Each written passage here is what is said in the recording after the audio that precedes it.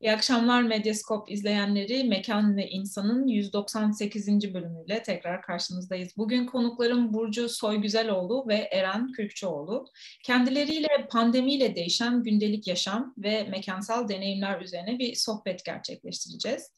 İdeal Kent dergisinin COVID-19 özel sayısında yayınlanan ve birlikte kaleme aldıkları pandemi sürecinde kentsel mekanı ve gündelik yaşam pratiklerini ritim analiz ile okumak, İstiklal Caddesi örneği çalışmalarını konuşmak üzere davet ettim sevgili Burcu ve Eren'i. Ama biz bu çalışmaların ek olarak 29. Kentsel Tasarım ve Uygulamalar Sempozyumunda da sundukları pandemiyle birlikte değişen mekansal hiyerarşi ve eşik mekanlar başlıklı bildirileriyle sohbetimizi daha da derinleştireceğiz. Ben hemen konuklarımı tanıtayım. Ardından sorularımızla bu değerli çalışmalarının detaylarını kendilerinden dinleyelim. Burcu Gebze Teknik Üniversitesi Şehir ve Bölge Planlama bölümünde araştırma görevlisi. Orta Doğu Teknik Üniversitesi Şehir ve Bölge Planlama lisans bölümü mezunu. İstanbul Teknik Üniversitesi'nde kentsel tasarım yüksek lisans programına devam ediyor. Ve kentsel morfoloji, gündelik yaşam, çevresel psikoloji, mekansal algı ve davranış alanlarında da akademik çalışmalarına devam ediyor. Eren Hocam, daha önce ağırlamıştım Eren Hocamı, hatırlayanlar olabilir ama ben daha önceki programımızı dinlememiş olan konuklarım için e, hemen e, Eren Hocamı da tanıtayım. İstanbul Teknik Üniversitesi Şehir ve Bölge Planlama bölümünde doktor öğretim üyesi e, kadrosunda çalışmalarına devam ediyor. Yıldız Teknik Üniversitesi Şehir ve Bölge Planlama lisans ve mimarlık çift anadal programı mezunu. Ardından Yıldız Teknik Üniversitesi Kent, Kentsel Mekan Organizasyonu ve Tasarımı yüksek lisans programını tamamladı. İstanbul Teknik Üniversitesi Şehir ve Bölge Planlama programında da e, doktora programında da kentsel dokuda yaya hareketlerinin mekansal ve psikolojik etki değerlendirmesi başlıklı tezini tamamladı. Başlıca çalışma ve araştırma alanları arasında da kentsel tasarım ve planlama, kent morfolojisi, çevre psikolojisi, mekansal algı ve davranış, kentsel imaj, kimlik ve kent tarihi gibi konular yer almakta. Sevgili Burcu ve sevgili Eren tekrar hoş geldiniz. Hoş bulduk. Ee, şimdi İstiklal Caddesi ve gündelik yaşam aslında ben bu konuyla ilgili en son e, Asuman Hocam'la da bir program gerçekleştirmiştim. E, ve biz biliyoruz ki bu bölge e, çok uzun zamandır zaten bir dönüşüm yaşıyor. E, altyapı projeleri, ulaşım ve toplu taşıma kurgusu değişiyor, sosyal ve demografik bir değişim yaşıyor hala e, işlevsel kaymalar görüyoruz. Zaten sizin biraz sonra bahsedeceğimiz ikinci çalışmanızda da hem Karaköy'de incelediğiniz için belki daha da net görüyoruz. E, ve son olarak bir de tabii meydandaki projeler, cami ve AKM projeleriyle birlikte İstiklal Caddesi farklılaşmaya ve dönüşmeye hala devam ediyor. Şimdi e, ben öncelikle belki biraz hani böyle tarihsel olarak bir bakış atmayı anlamlı buluyorum ki pandemide de neyin değiştiğini ve nasıl değiştiğini ve siz pandemiyi niye bir kırılma noktası olarak gördünüz onu daha iyi anlarız diye düşünüyorum.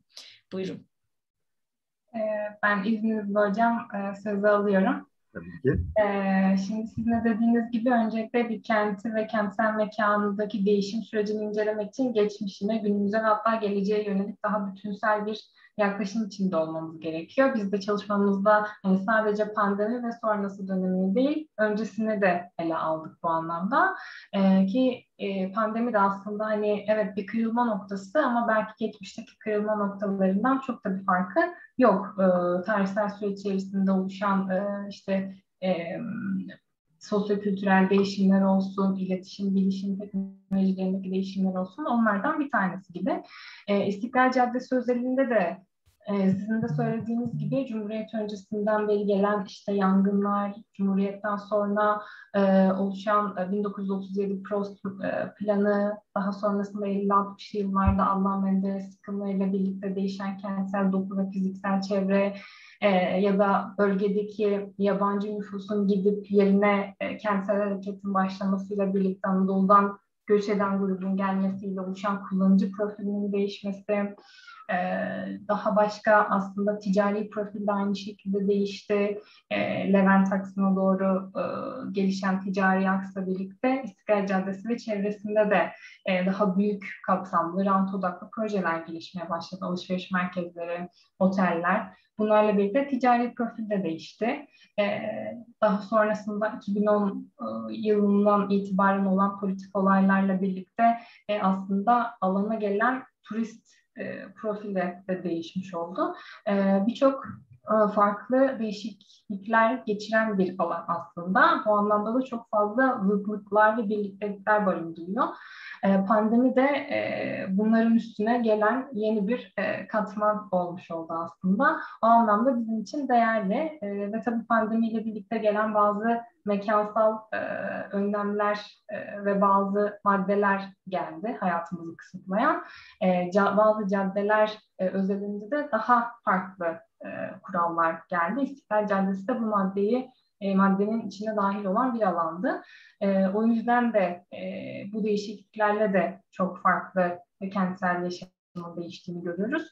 Bu anlamda bizim çalışmamız için İstiklal Caddesi aslında e, önemli bir örneklem alanı oldu diyebilirim.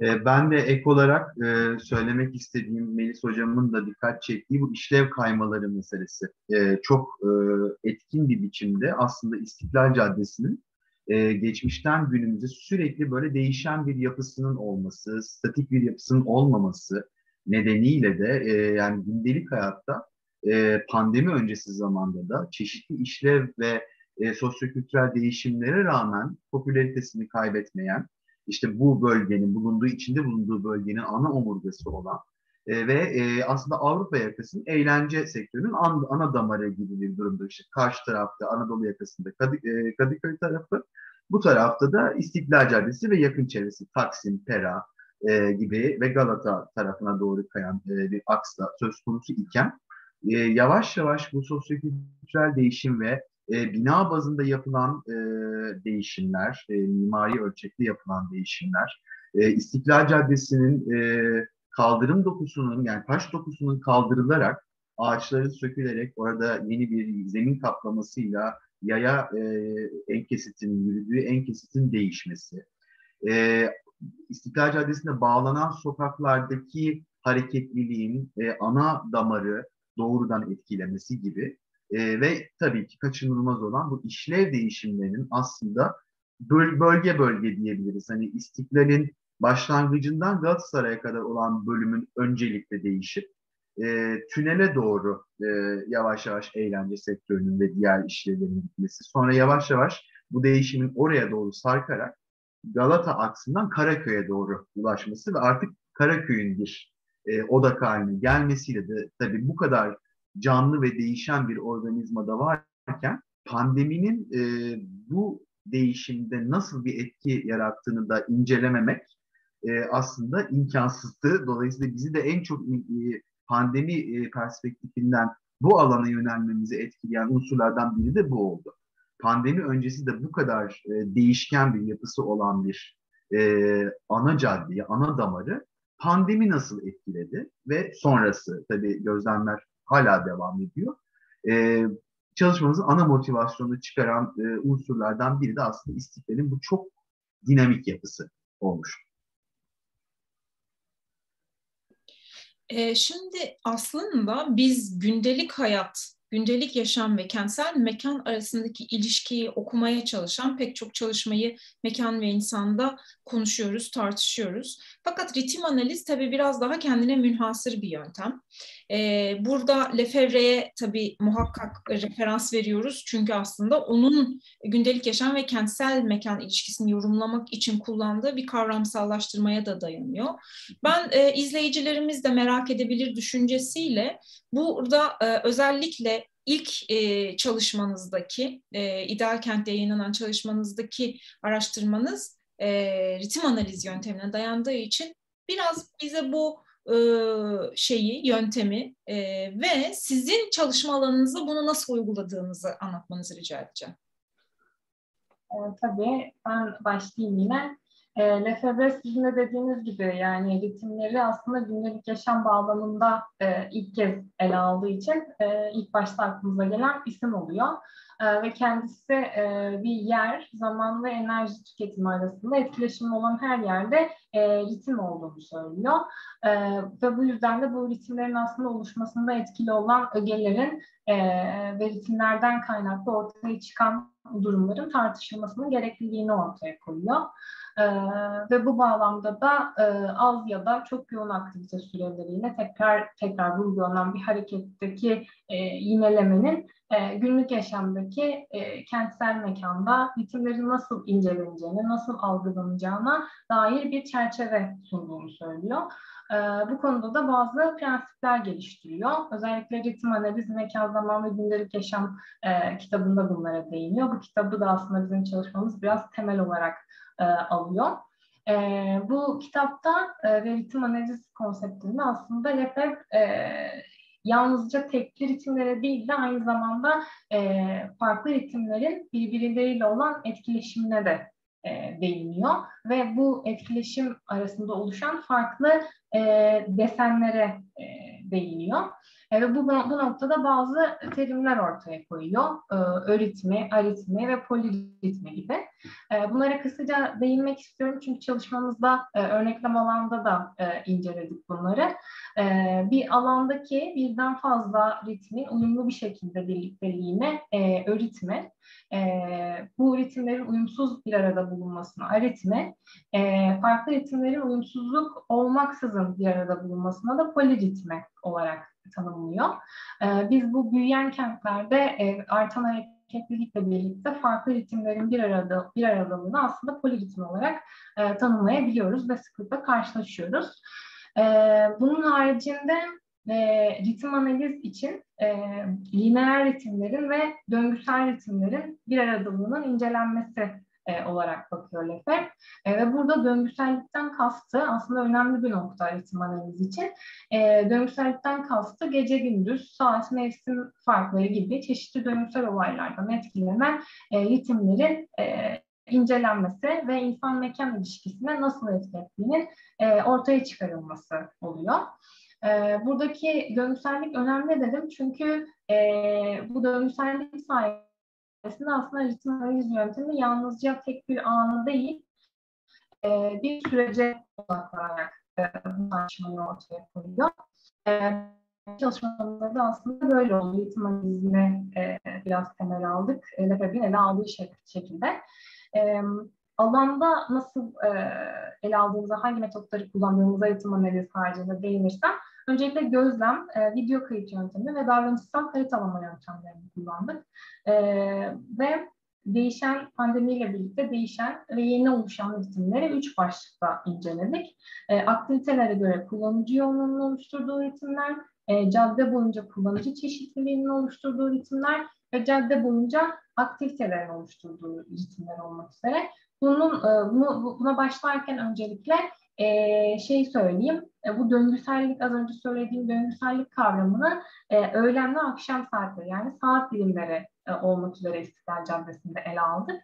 Bu saat dilimlerinin de gözlemlerimize dayanarak gün içerisinde en yüksek yaya yoğunluğunun olduğu saat dilimlerini e, inceledik.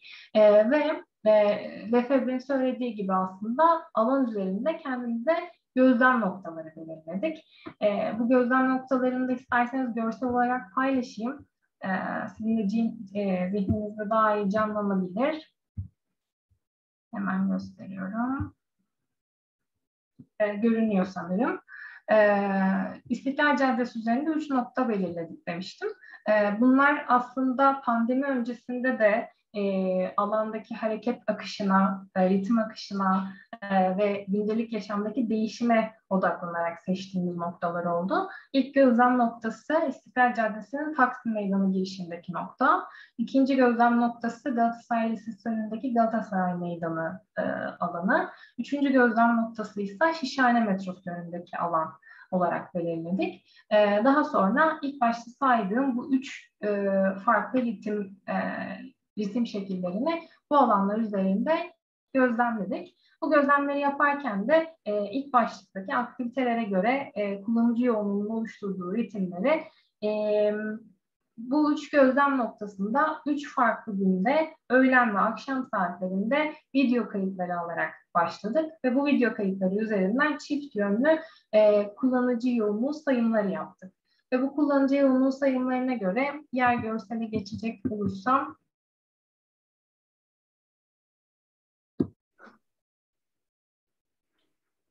Ee, az önce söylediğim gibi e, üç gözlem noktasında video kayıtları üzerinden sayımlar yaptık. Bu görsellerde aslında e, yaklaşık olarak o sayım değerlerini size aktarmamı sağlayacak göster, e, gösterimler. Belirli saniyeler üzerinden, aynı hatta saniyeler üzerinden aldık bu görüntüleri. E, gözlem bir noktası için öğlen saatlerinde en yüksek yaya yoğunluğunun olduğunu tespit ettik. E, ve bu e, pandemiyle birlikte gelen önlemlerle birlikte e, İstiklal Caddesi'nin Taksim girişine e, maske, işte el dezenfektanı gibi e, hijyen ürünlerinin tedariğini sağlayan ve e, insan sayım e, kontrollerinin yapıldığı bir e, bölge vardı. E, bu bölge aynı zamanda insanların burada buluşma e, ve bekleme noktası olma özelliğini sağlıyordu. O yüzden bekleme ve e, buluşma e, aktivitelerinde bulunan insanların e, yine öğlen saatlerinde bu noktada daha fazla olduğunu e, fark ettik. Fakat akşam yaptığımız gözlemde ise e, yaptığımız çalışma e, sürecinde e, hafta içleri akşam 9'dan sonra dışarı çıkma yasağı olduğu için e, olsa gerek diye yorumladık. E, kullanıcı yoğunluğunun oluşturduğu ritimler oldukça azalmıştı. Hatta bazen durma noktasına gelmişti. İkinci gözlem noktasına baktığımızda e, aslında öğlen saatlerinde de yaya aktivitesi evet fazlaydı. Gözlem noktası bire göre daha az tabii ki ama e, insanların yürümek haricinde farklı bir aktivite içinde bulunduğunu göremedik. Burası daha çok bir geçiş noktası gibiydi. E, ve bu özelliğini akşam yaptığımız e, aslında e, analizde de sürdürdüğünü gördük. Yani işlerinde herhangi bir değişiklik olmamıştı. Yalnızca ritim akışında bir azalma olduğunu yine fark ettik. Gözlem noktası 3'te ise diğer noktalardan daha farklı olarak e, akşam e, oluşan ritim yoğunluğu gündüz oluşan e, ritim yoğunluğundan daha fazlaydı. E, bunun da e, nedenini biz şu şekilde yorumladık aslında. E, bu Şişhane metrosuna ve hatta tünel meydanına yani ulaşım hatlarına yakınlığıyla birlikte ve çevre çevrede e, olan konut e, bölgelerinin diğer gözlem noktalarına göre daha yoğun olmasıyla birlikte e, insanların artık işten çıkış, iş çıkışında ya da işte gün içerisinde yapmış olduğu aktivitelerden sonra artık evine dönüyor olduğunu çünkü bir zaman kısıtı olduğunu bu yüzden de bu bölgede daha yoğun bir ritim oluştuğunu e, yorumladık. Yani bu şekilde yorumladık e, diyebilirim. E, onun dışında gözlem noktası için e, söyleyeceğim diğer bir şey de e, bu noktada e, yine pandemi koşullarına göre hazırlanan e, kent mobilyaları vardı bu süre içerisinde yapılmış olan e, ve bu mobilyaların aslında insanların e, açık havada aktivite yapma ihtiyacını karşıladığını ve e, yoğun bir şekilde kullanıldığını gördük. Belki bu yüzden burada da kullanıcı yoğunluğunun oluşturduğu ritimler diğer noktalara göre daha e, fazla olmuş olabilir diye yorumladık aynı şekilde. Ee, diğer bir başlık olan e, başlığımız cadde boyunca kullanıcı çeşitliliğinin oluşturduğu e, ritimlerde. E, bunu yine değiştirmem gerekecek galiba. Ee, çalışmamızın ikinci başlığında e, cadde boyunca kullanıcı çeşitliliğinin oluşturduğu üretimleri incelemiştik. Bu incelemeyi yaparken aslında çıktıları aynı zamanda İstiklal Caddesi boyunca e, olan arazi e, giriş katı, arazi kullanımı ile birlikte değerlendirdik. Çünkü ikisi arasında bir aslında bir korelasyon olduğunu gördük. bu kullanıcı çeşitliliğine sokak satıcıları, zabıta polis görevlileri, belediye görevlileri, seyyar satıcılar ve diğer kullanıcılar olarak sınıflandırdık. Bu sınıflandırmayı yaparken de aslında hem bu ikinci başlığımızda hem de üçüncü başlığımızda e, alan üzerinde Taksim Tünel Meydanı arasında yine öğlen ve akşam saatlerinde e, 17'şer dakikalık yürüyüşler gerçekleştirdik ve bu yürüyüşler üzerinden aslında e, davranışsal haritalama yöntemiyle bu görseli çıkarttık. E, Dejant'ta sunmuş olduğumuz e, kullanıcı e, türlerine e, buradaki arazi kullanımları ile birlikte eşleştirmeye çalıştık aslında. E, ve bu pandemiyle birlikte olan değişimi incelerken şimdi pandemi öncesindeki kentsel ritimleri de algılamamız gerekiyordu ama ne yazık ki bu aslında e, konumuz odağına ritim analizi almamızın dezavantajlarından biriydi. Çünkü İstiklal Caddesi üzerinde daha önce yapılmış, pandemi öncesinde yapılmış bir ritim analiz çalışması yoktu. O yüzden pandemi öncesindeki ritim akışını ve ritim değerlendirmelerini göremiyorduk e, doğrudan ne yazık ki. E, ama e, bize ritim leri anlamamıza yönelik çıktı sağlayabilecek bazı ampirik çalışmaları ele aldık. E, ve o çalışmalara baktığımızda aslında pandemi öncesinde burada size sunmuş olduğumuz e, kullanıcı e, türleri dışında işte e, cumartesi anneleri gibi direniş grupları ya da alanın sosyal e, arka planından gelen e, sokak müzisyenleri gibi kullanıcıların da olduğunu e, gördük. Zaten bildiğimiz de bir şey aslında. E, ama pandemiyle birlikte gelen e, bu bazı kurallarla birlikte e, bu kullanıcıların e, İstiklal Caddesi'ni aslında terk etmiş olduğunu artık bu alanda çok fazla bulunamadıklarını e, gördük. Bunun bir sebebi de aslında İstiklal Caddesi için e, gelen e, belli e, bir kural vardı ve bu kural kapsamında e, belirli bir grup, gruplaşma e, ve insan sayısını aşan gruplaşmaları, gruplaşmaları zapta görevlilerin uyardığına dair. O yüzden bu sokak e, sokak e, müzisyenleri olsun ya da dediğim gibi daha böyle eylem grupları olsun bu gibi aktivitelerin e, bu nedenle yapılamadığını gördük ve bu da aslında kullanıcı çeşitliliğinin oluşturduğu ritimlerde azalmaya yol açmış oldu. Bunun dışında öğlen ve akşam e, saatlerindeki farka baktığımızda ise kullanıcı çeşitliliği yine akşam 9 sonrasındaki dışarı çıkma yasağından dolayı e, burada da azalmış oldu. E, diğer bir başlığımız ise e, cadde boyunca aktivitelerin oluşturduğu ritimlerde aslında. E, bu ritimlerde de yine aynı şekilde arazi kullanımlarıyla birlikte bu davranışsal haritalama yöntemiyle e, ortaya koyduk. Yine aynı yürüyüş üzerinden değerlendirdik. E, burada ise e, yürüme, yürüyen, e, yürüyen kullanıcılar, oturan, bekleyen, çalışan, bisiklete ve elektrikli skutura binen e, kullanıcıları saptadık. E, ve bunda da bir, bunda da yine e, ritim analizinin döngüselliğini ortaya koymak için öğlen ve akşam saatlerine baktığımızda öğlen saatindeki mekansal aktivitelerin oluşturduğu ritimlerin e, akşam saatindekine göre çok daha fazla olduğunu görmüş olduk. E, ve burada aslında bu analizde e, teorik çerçevede söylemiş olduğum e, öritmi, aritmi ve poliritmi e, kavramlarını da inceleme fırsatı bulmuş olduk. E, burada e, aslında öğlen de akşam da e, görselde görebildiğiniz gibi en bas, baskın mekansal pratik yürüme eylemiydi. E, ve bu yürüme eylemi aslında e, cadde üzerindeki e, ana e, ritim akışını sağlayan pratikti. Bu yüzden bunu poliritmi çerçevesinde değerlendirebileceğimizi düşündük. E, öğretimi çerçevesinde ise yani birden fazla ritmin uyumlu bir şekilde alanda bir arada bulunması e, kavramını ise şu şekilde değerlendirdik. E, bu alan üzerinde e, çalışma yaptığımız süre zarfında gelen pandemi önlemleriyle birlikte restoran, kafe gibi e, alanlarda e, paket servis ya da e, take, away, take away servis dışında servis verilemiyordu. Yani bu mekanların iç kısımları kullanım dışındaydı. E, bu nedenle eskiden e, iç mekanlarda e, vakit geçirmeye alışmış olan kullanıcılar e, bu alışkanlıklarını dışarı taşıyarak bu mekanların önündeki eşik alanlarında, kapı girişlerinde oturarak eski aktivitelerini gerçekleştiriyorlardı. E, ama bu dediğim az önce söylediğim genel e, yürüme e, pratiği e, en baskın pratik olan yürüme pratiğine yani poliritmiye engel olan bir ritim değildi. Bu nedenle öğretim şeklinde yani uyumlu bir şekilde çalıştığını söyleyebiliriz.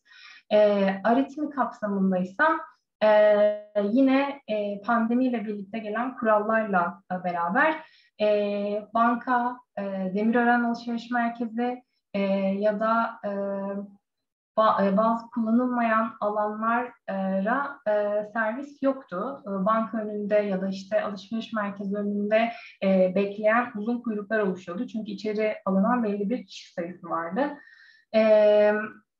Bu nedenle bu bekleyen kuyruklar aslında cadde üzerindeki bu poliritmiyi yani yürüme akışını, yürümenin oluşturduğu ritim akışını engelliyordu. Bu nedenle de bunları aritmi olarak yani ritmin ritimsel uyumsuzluklar olarak alanda değerlendirmiş olduk. Ee, biraz uzun oldu ama e, Lefebvre'nin aslında ritim analiz konseptini alan üzerinde nasıl incelediğimizi ve nasıl çıktılar elde ettiğimizi e, özetlemiş oldum diyebilirim. Ee, çok ufak bir ekleme yapacağım ben de Burcu'nun e. E,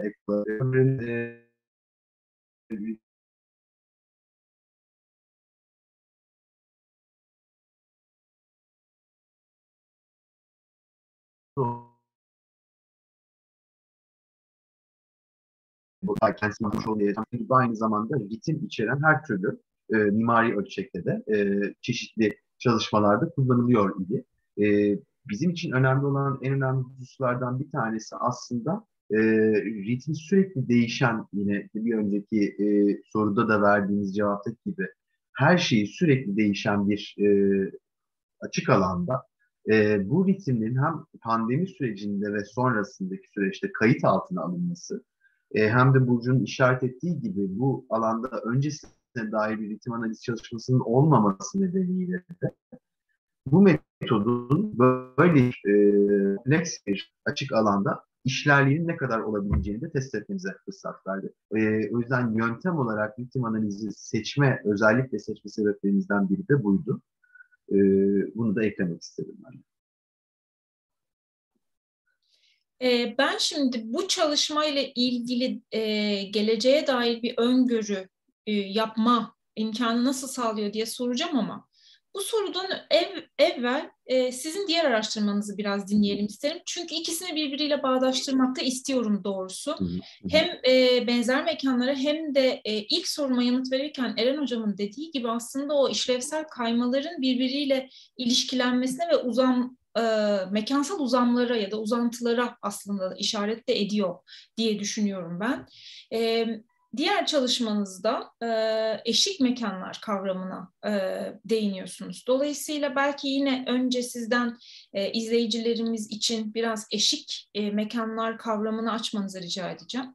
Sonra e, bu çalışmalarınızda e, odaklandığınız mekanlar var. Kadıköy, Taksim, Karaköy ve Beşiktaş.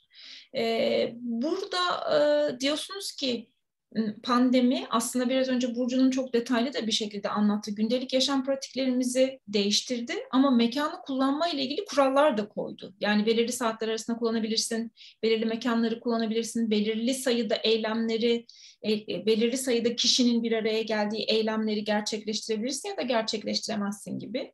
Kurallar değiştiğinde bizim mekanla olan ilişkimiz değiştiğinde o zaman mekansal hiyerarşik düzende de değişiklikler, değişiklikler olur diyorsunuz ve aslında bunun izlerini arıyorsunuz. Ee, ben burada önce biraz kavramı açmanızı, sonra bu odaklandığınız mekanlara neden seçtiğinizi ve bu çalışmayı nasıl yaptığınızı sorarak e, sözü yine size vereyim.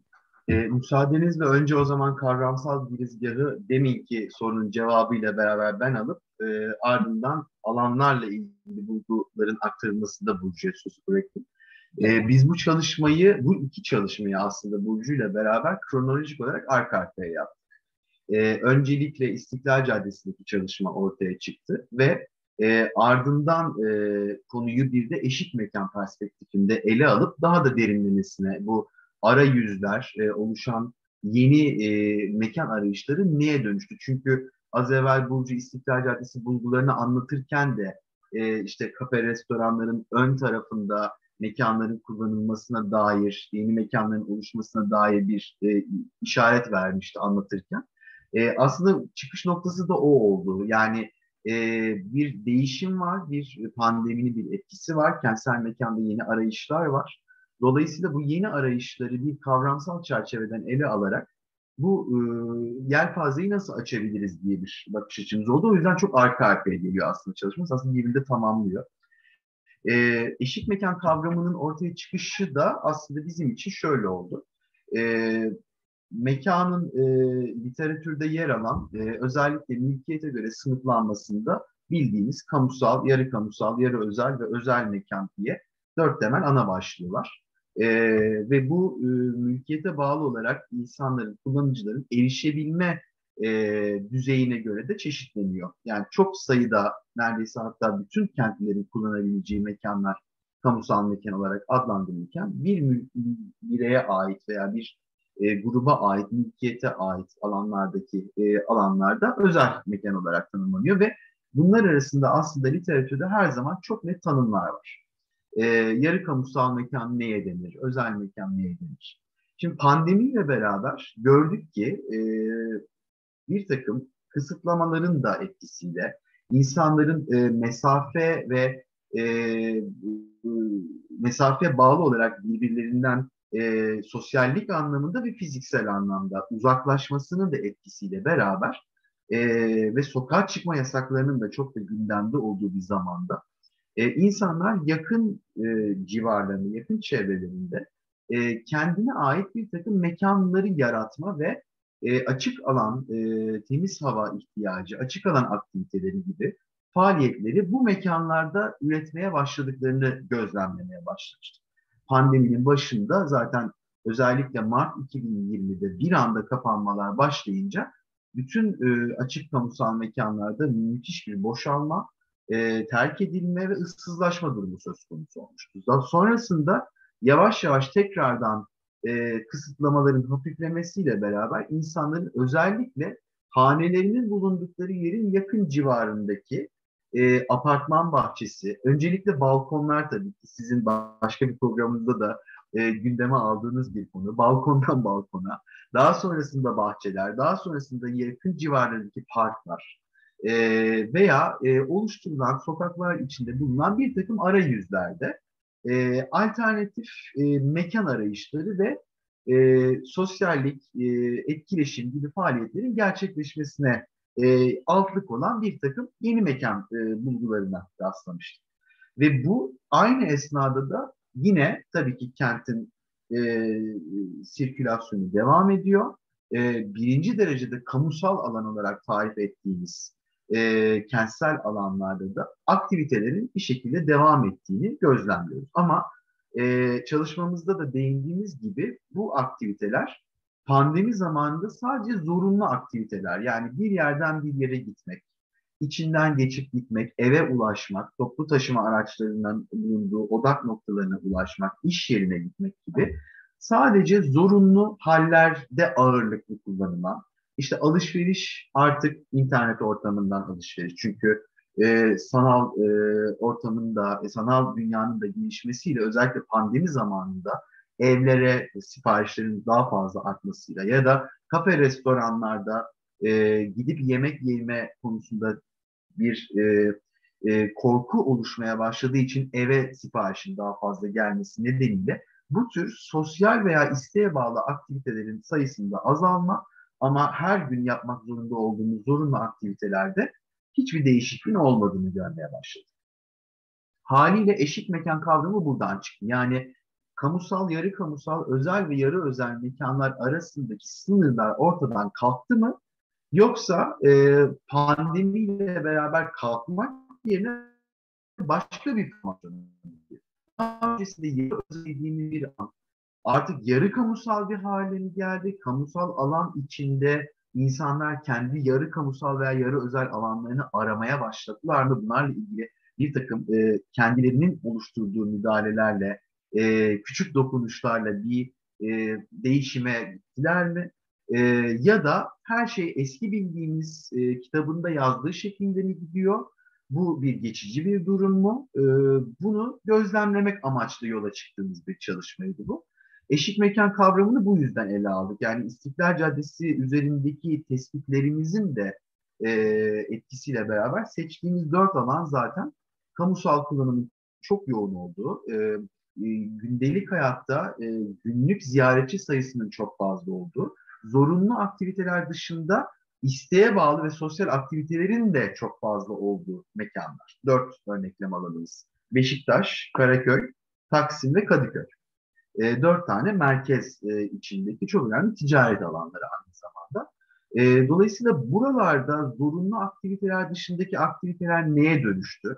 E, gibi veya zorunlu aktiviteler yapılırken isteğe bağlı aktiviteler için hangi köşe noktalar, hangi arayüzler oluşmaya başladı? Aslında çalışmamızın temel motivasyonu buydu.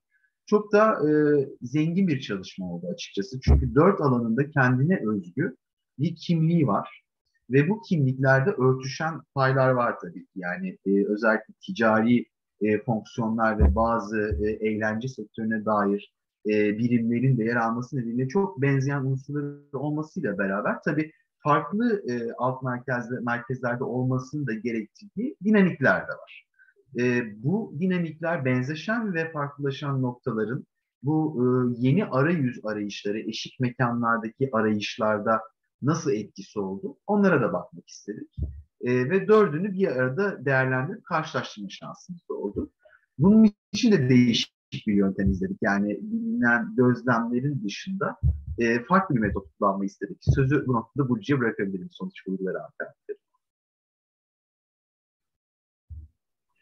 Evet, ben devam edeyim. E, zaten Eren Hocam eşik mekan kavramına ve teorik olarak e, bu çerçevede e, yeterince ele aldı. O yüzden ben direkt bizim çalışmamıza e, iniyorum. E, biz e, öncelikle bu pandemiyle birlikte artan açık alan ihtiyacı ve ortak zemin arayışı bizi neye götürdü diye sorduk ve e, bu, bu ne sorusu karşısında eşik mekanları bulduk. Daha sonra 5N1K sorularını takip ettik ve ne zaman diye sorduğumuzda yani bu eşit mekanlardaki etkileşim ne zaman oluşuyor e, diye sorduğumuzda aslında e, biraz e, eşit mekanların e, spontaneliği ve geçiciliğinden de mütevellit o anda yani kullanıcıların etkileşime girdiği o anda gerçekleştiğini fark ettik. Daha sonrasında nerede e, diye sorduğumuzda eşit mekan potansiyeli taşıyan alanlara baktık ki bunları zaten örneklem alanları üzerinde de göreceğiz. E, daha sonra neden diye sorduk. Neden diye sorduğumuzda biz e, eşit mekanların aslında mekansal ve sosyal potansiyellerini gördük. Bunlar nelerdi? İnsan etkileşimine olanak sağlıyorlardı, geçici birlikteliklerin ortaya çıkmasına sebep oluyorlardı. E, aynı zamanda aktif kullanıcı yoğunluğunu da beraberinde getiren alanlardı. E, sonrasında kimler bu alanları kullanıyor diye sorduğumuzda aslında eşit mekan e, kurucularını, organizasyon kurucuları, kurucularıyla karşılaştık. Bu literatürde geçen bir kavramdı. E, organizasyon kurucuları altında ana kurucu olarak kullanıcıyı ele aldık. Daha sonrasında kullanıcıların oluşturduğu aktiviteler ve aktivitelerden ortaya çıkan deneyimlere odaklandık. E, burada da aktiviteleri Eren Hocam'ın da dediği gibi zorunlu aktiviteler, gelin e, sınıflandırmasına göre e, zorunlu aktiviteler, opsiyonel aktiviteler olmak üzere e, farklı şekillerde ele almış olduk. E, asıl çalışmamızın e, sorusunu oluşturan nasıl sorusuydu. Bunu da aslında e, eşit mekanlardaki insan-mekan ilişkileri nasıl değişti e, diye baktığımızda kullanıcı deneyimleri üzerinden olduğunu gördük ve bunu da bu dört alan üzerinde YouTube'daki Citybox videoları üzerinden gerçekleştirdik. Biraz pandeminin de getirdiği zorluklarla birlikte dışarı çıkma yasakları alan üzerinde birebir çalışma imkanı e, bulmak zordu. Bu nedenle e, FEM'de farklı bir yöntem olacağını düşünerek Citybox videolarını kullanmaya karar verdik. Ee, daha sonrasında dört alan üzerinde bazı bu videolar üzerinde incelemeler yaptık. Yine ben e, kısa görseller göstereyim. Hem e, daha iyi olmuş olur. Paylaşıyorum hemen. Gelmiş olması lazım. Ee, ilk e, alanımız Kadıköy'dü. Ee, bu görseller üzerinde yine aslında bir önceki çalışmamızda bahsettiğim durumları e, burada da gördük. Yani kapalı e, kafe restoran önlerinde ilk fotoğrafta gördüğünüz gibi ya da bina girişleri önünde insanların işte büfeden ya da yanından getirdiği içeceklerle, yemeklerle ayakta e, bir şeyler yediklerini, muhabbet ettiklerini ve aslında bir etkileşim içine girdiklerini gördük. Ya da ikinci videoda olduğu gibi e, bu e, saydam yüzeyli cephenin oluşturduğu e, alan ve bu üzerindeki tenteyle birlikte aslında küçük bir eşik mekan oluşuyordu. Ve bunu değerlendiren kullanıcılar da burada karşılaşma ve etkileşim içine giriyordu. Ya da üçüncü fotoğrafta görebildiğiniz gibi normalde pandemi öncesinde e, Kadıköy e, e de bildiğiniz gibi e, sadece e, geçip gittiğimiz e, yalnızca geçiş sağlayan bir arkat altı iken artık pandemiyle birlikte insanların e, basamakta oturup zaman geçirdiği, sohbet ettiği bir alan haline gelmiş oldu ve bu alanların farklı kullanımlarda e, kullanılmaya başlandığını görmüş olduk aslında. E, diğer bir görsel ise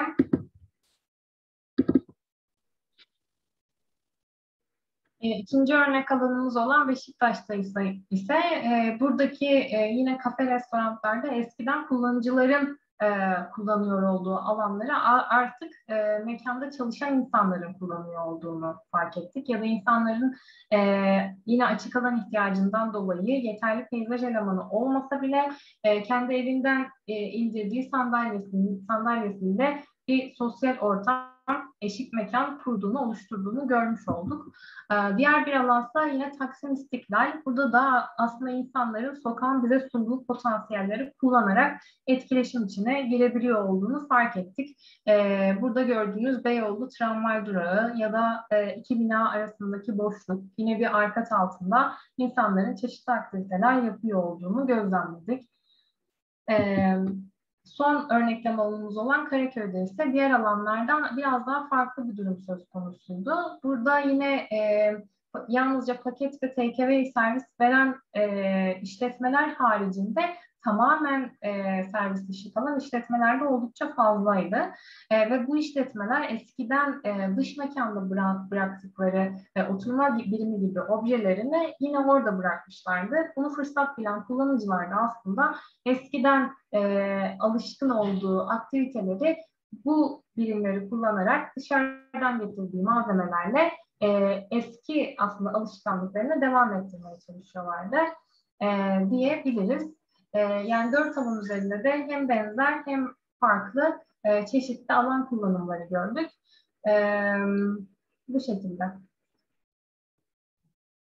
E, tabii bir konunun da altını çizmemiz gerekiyor bu noktada. E, bu yöntemler bize ve e, hem hem bu alanların geleceğini hem de bizler gibi mimarlar, plancılar, peyzaj mimarları, kentsel tasarımcılara ne tür olanaklar sağlıyor? Yani gelecekte bir mekanın e, tasarımı veya e, iyileştirmesi yönünde nelere, e, hangi noktaları bizi götürecek?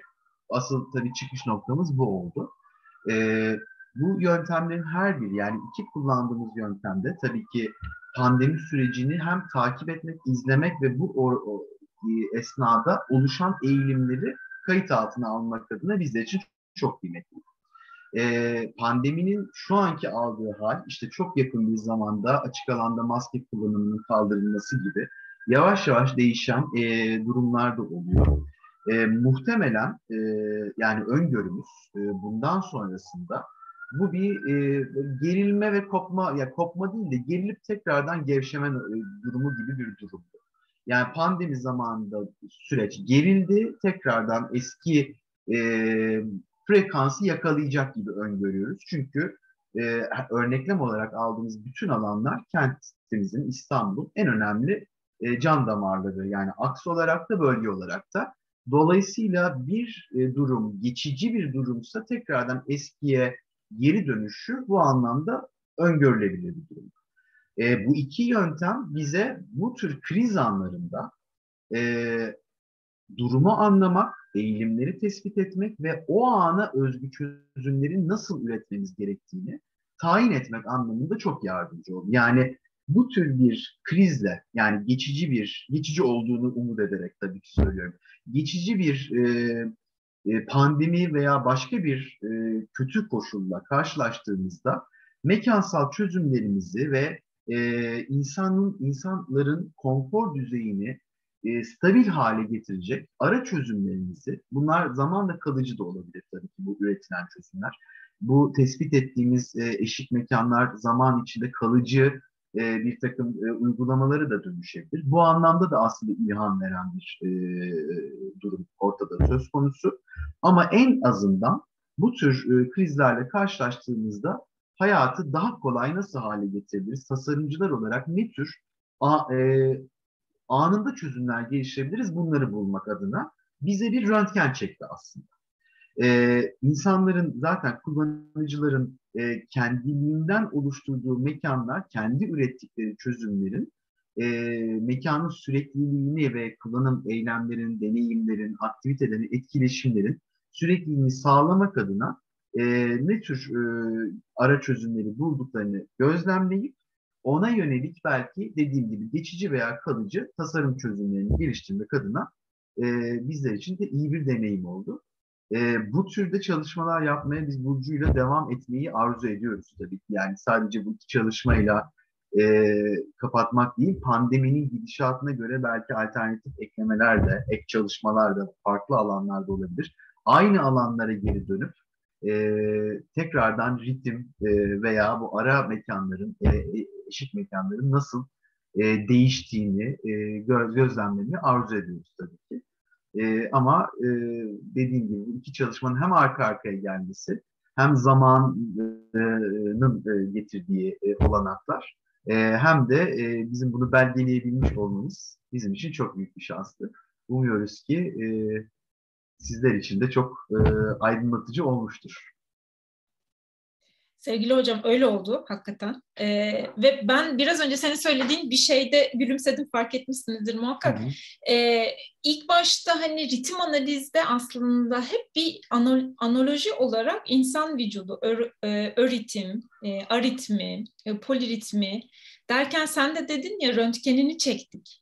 Evet. Aslında bir organizmanın, canlı bir organizmanın e, durumlar karşısındaki tepkilerini görüyoruz. Yani bu durum aynen insan bizim bireysel, e, fiziksel ve ruhsal sağlığımızı pandemi nasıl etkiliyorsa kentleri de etkiledi ve dediğin gibi dolayısıyla bu kriz durumu ya da bu olağanüstü durum biçim değiştirdiğinde yani eskiye dönmek de olabilir bu. Tamamen e, e, pandemisiz bir hayat ya da pandemiye daha farklı bir şekilde uyum sağladığımız bir hayat.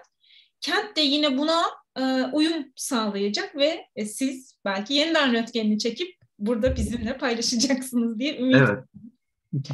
Ee, Çok doğru ben, hocam. Evet. Çok doğru. Kesinlikle çünkü kentin canlı bir organizma olması e, meselesi çok doğru ve gerçekten bu pandemi bizlerin psikolojisini e, çok değiştirdi. Gündelik yani e, kentte olmak zorunda değil, ev hayatımızı bile çok değiştirdi, iş hayatımızı çok değiştirdi. Kentin de değişime uğramadığını düşünmek zaten mümkün değil. E, dolayısıyla biz de en çok e, hani e, ritmin daha çok olduğu ana damarları ve temel organları ele aldık oldu. E, çünkü mesela bu çalışmalar kentlerin başka bölgelerinde yapısı çok farklı sonuçlar çıkabilirdi. Bizim burada dört alanı birbirine benzer alanları seçmemizin sebebi de aslında e, bu tür nitelik benzerliği olan alanlarda farklılıklar var mı ya da bakmak oldu. O yüzden çalışmalarımızı biz de geniş perspektifte devam ettirmeyi düşünüyoruz. Çok teşekkür ediyoruz aktarma fırsatı verdiğiniz için. Ben de çok teşekkür ediyorum her ikinize de bu değerli çalışmalar ve bu değerli çalışmaları Mekan ve İnsan izleyicisiyle ve benimle paylaştığınız için. Umarım yeni çalışmalarınızı da tekrar burada konuşma fırsatımız olur e, deyip e, zaman kısıtımız olmasaydı bitmeyecek olan bu sohbetimizi sonlandırmak durumundayım. Daha fazla mekan ve insan tartışması ve sohbeti için mekan ve insanın Instagram ve Facebook hesaplarını takip etmeyi, YouTube ve Spotify kanallarına abone olmayı ihmal etmeyin. İyi akşamlar. İyi akşamlar.